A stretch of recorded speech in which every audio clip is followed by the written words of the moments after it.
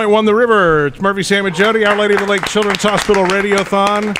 Only 53 minutes left to become a miracle maker. It's a triple match that's going on right now, thanks to Cortana Kiwanis and a uh, a very kind lady who called and wants to remain anonymous, and she's helping us with the triple match. So your $15 a month becomes 45 right now. If you want to do a one-time donation, you know today was payday. Whatever you can donate is triple, just like that. 888 499 5437.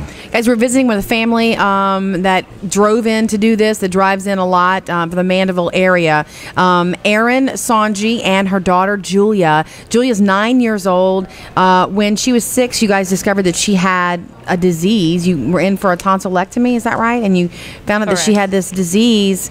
And she's been a patient here for a long time, in and out, and had her spleen removed last year in in July.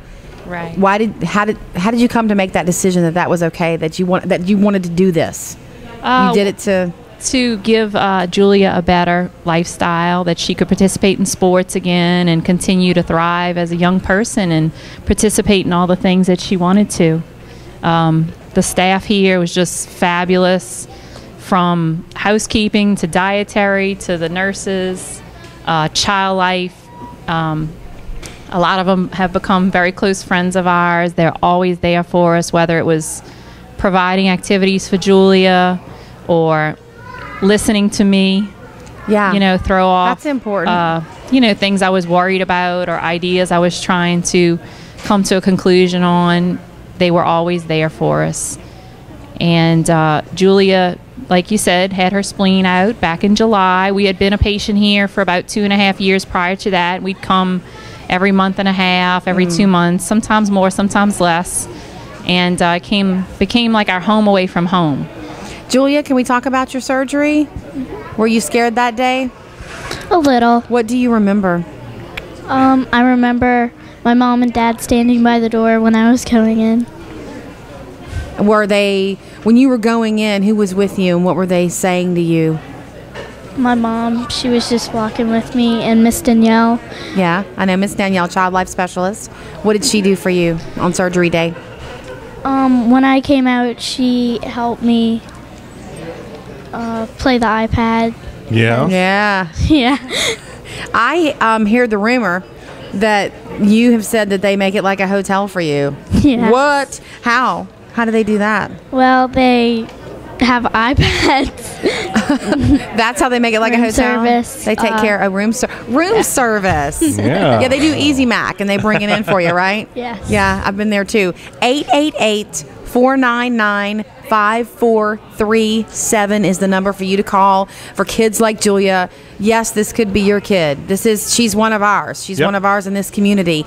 888 499 5437. Uh, Since you're so young, I know this is kind of a big question, but you are nine years old and you do seem very mature for nine. So I wanted to ask you this. Um, do you ever ask, do you ever wonder why this had to be you? Sometimes. What do you come up with? What answers do you? Every child's different. Like I have a friend, she has diabetes, and she's she feels just like me too. Yeah.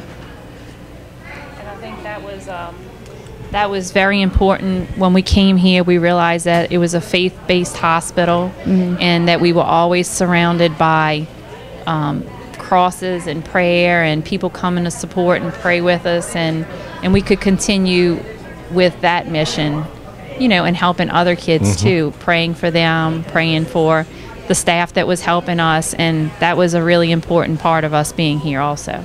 She has this. She had her spleen removed, and she has this this disease. What what what are you told is going to be your future? How, do you expect to be here more?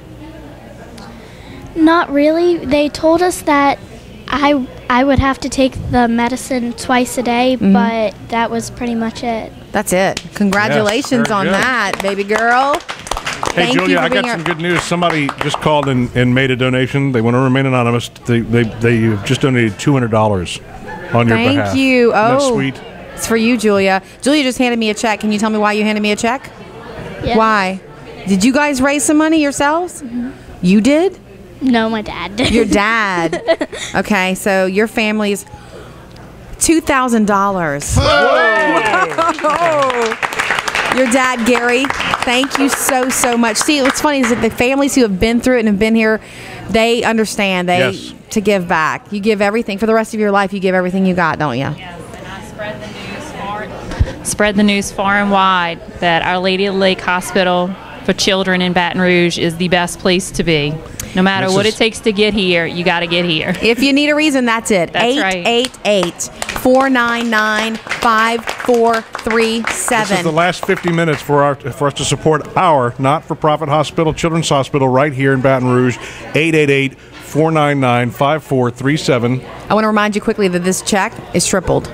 Yeah, right now the triple because of the triple match that is happening. So whatever you can give, it is tripled. One more time the number 888-499-5437. Murphy, Sam and Jodi with you tonight on 96.1 The River.